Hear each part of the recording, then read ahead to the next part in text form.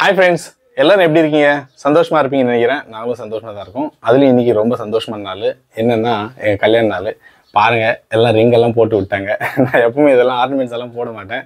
But இன்னைக்கு special day அவங்க விருப்பப்படி நம்ம இருக்கணுன்றதுக்காக இந்த ரிங்கெல்லாம் போட்டிருக்கேன். மற்றபடி எந்த ஃபங்க்ஷன்ஸ்க்கும் கூட நான் போடவே மாட்டேன். அவங்களே போட்டு போயிடுவாங்க. திட்டிகிட்டே இருப்பாங்க. ஓகே எனிவே இன்னைக்கு எங்களோட கல்யாண நாள்.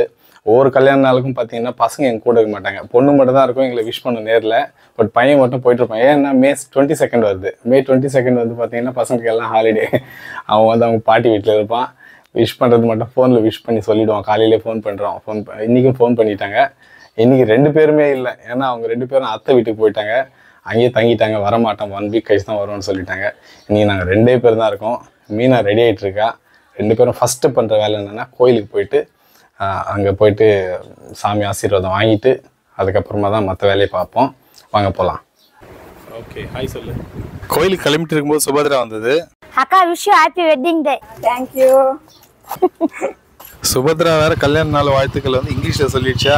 சரி நாங்களும் கோயிலுக்கு கிளம்பிட்டோம்.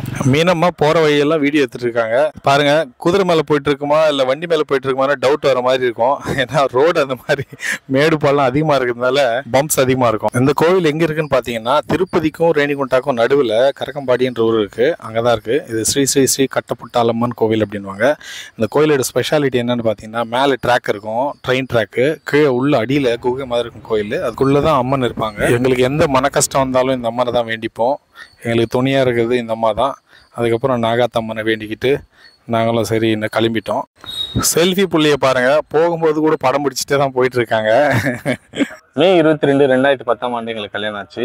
இந்த பதினாலு வருஷத்துல நிறைய விஷயங்கள் மாறிடுச்சு. எங்களுக்கு கல்யாணம் ஆயிடுச்சு. புள்ள குட்டிங்க வந்துட்டாங்க.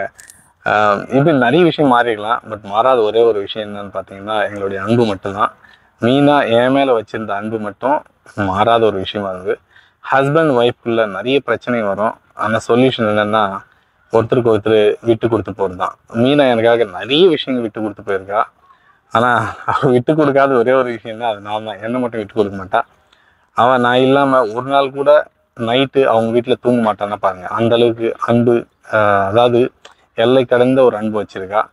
இதுதான் இந்த பதினாலு வருஷம் நாங்கள் சந்தோஷமாக ஒன்றா இருக்கிறதுக்கான காரணமாக சொல்லுவேன் ஸோ ஹஸ்பண்ட் ஒய்ஃப்குள்ளே நிறைய பிரச்சனை வரலாம். ஒருத்தர் அட்ஜஸ்ட் பண்ணி போனால் அந்த குடும்பம் எப்போவுமே நிலையாக சந்தோஷமாக இருக்கும்.